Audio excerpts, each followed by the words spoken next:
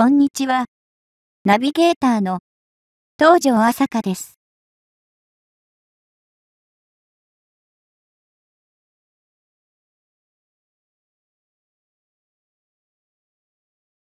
リチウムイオン電池搭載潜水艦といえば、そう、流型潜水艦の雨流と東流だろう。世界でトップクラスの性能を誇る。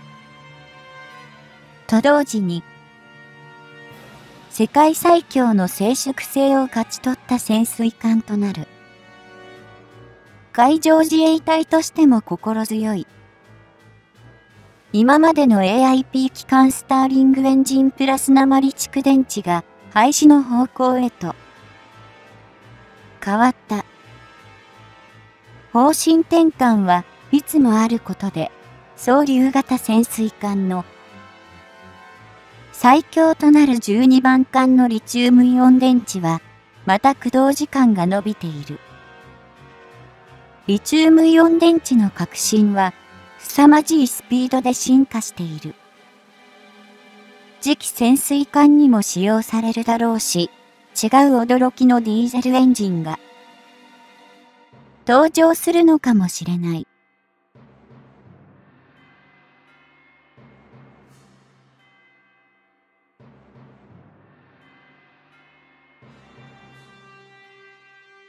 日本の売りとしては静粛性にある。これは原子力潜水艦をしのぐ世界でもトップクラスやトップだろう。他に静粛性で勝っている。潜水艦を見ていない。次期潜水艦も静粛性は外せないポイントとなるだろうし、3000トン級の潜水艦ともなると、やはり静粛性はもちろんだが、機動性も大きく、加わることになる。それだけ大きな体を瞬時に動かすだけの技術もまた必要になる。そこで注目されているのがリチウムイオン電池だろう。すでに、そう、夕型潜水艦でスターリングエンジン代わり装備されている。スターリングエンジンも当時は自衛艦でさえすごいと言わせた。画期的なシステムだった。そう、竜型潜水艦では、スクリューの改良もされてきたが、現行のスクリューでは最高の静粛性となっている。日本の総流型潜水艦は、静粛性を追求するため建造されてきた。だが、時代は変わりつつあり、静粛性だけでは任務を遂行するには厳しいと言わざる負けいない。現在、政府見解で敵地攻撃能力を模索している中、潜水艦にも SLBM システムを装備するのかもしれないがまだ見えてこない。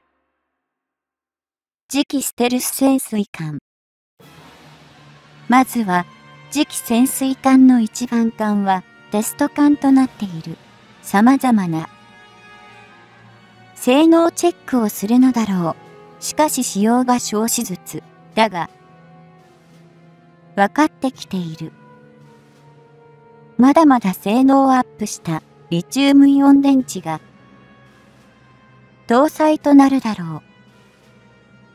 これは余談だが、リチウムイオン電池の性能を確実のものになると他の総流型潜水艦にも装備される日が来るのかも。低出力スターリングプラス鉛蓄電池での組み合わせはもう古い気がする。機能性や静粛性を考えるとより電気をいつでも使えるリチウムイオン電池が潜水艦には向いている。X 舵やスクリューといった部分も改良が進むだろうし、潜水艦の形も少し丸みを感じる形と認識している。新たに情報が入れば紹介していきます。3000トン級潜水艦は、テスト練習艦としてはずは建造予定。次期潜水艦は、早くて2031年に収益を。目標に今プログラムが開始されている。リチウムイオン電池搭載は当然だろうと考えている。他にも X カジとポンプジェットを融合した仕様を目指しているが、ポンプジェット方式でもデメリットは説明した通りだ。低速での電気消費量が非常に高く、高出力時には省エネとなる。これを低速でも、省エネ化できれば採用できるだろう。データリンクの方式も今後違ってくるかもしれないし、不妊では、ないものの、少人数での潜水艦任務が容易にこなせるシステムが盛り込まれる予定だ。もしかすると陸上で操作できているかも。これは妄想だが、潜水艦にもドラグーン機能が追加され、自動運転で潜水艦をある一定距離を置いて、守ってくれる機能ができるかもしれない。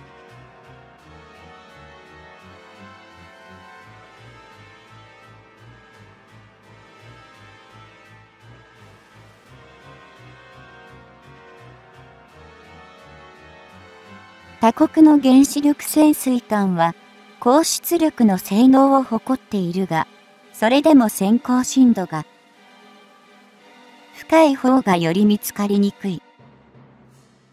しかし、原子炉が熱を発するのでその熱探知により見つかる危険性もある。原子力は電力など無限に作り出すことが可能だが、先行時の非常事態の時は、電力の心配はないので、高出力で逃げることが可能だし、攻撃に回ることも可能になる。周辺国では、中国とロが原子力潜水艦を保有しているが、同盟国の米国もまた原子力潜水艦を保有している。日本においては、総流型潜水艦が通常動力型として日本周辺で忍びのごとく待ち構えている。果たして最強なのは原子力潜水艦か総流型潜水艦なのか気になるところだ。だが日本の潜水艦が日米合同訓練でたったの一隻で敵艦役をすべて撃沈した経緯もある。日本の潜水艦技術と作戦戦術が試せる技なのかもしれない。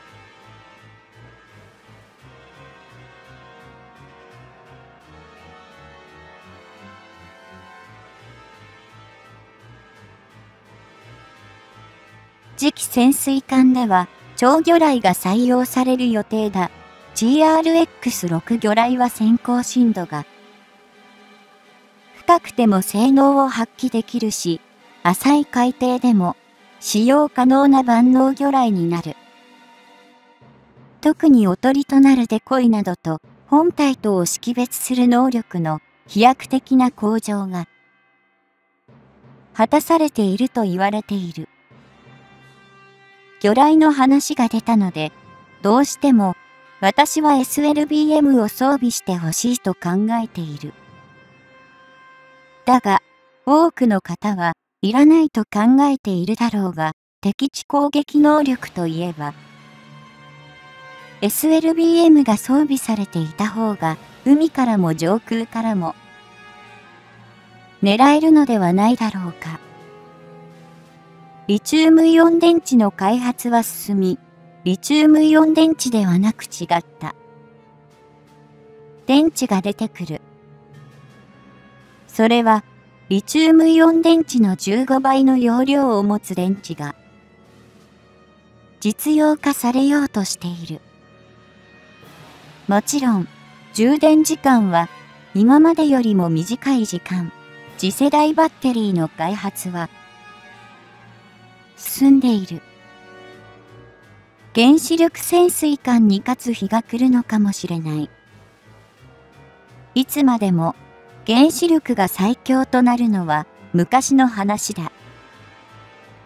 日本の次期潜水艦が世界に度肝を抜く潜水艦だと願っている。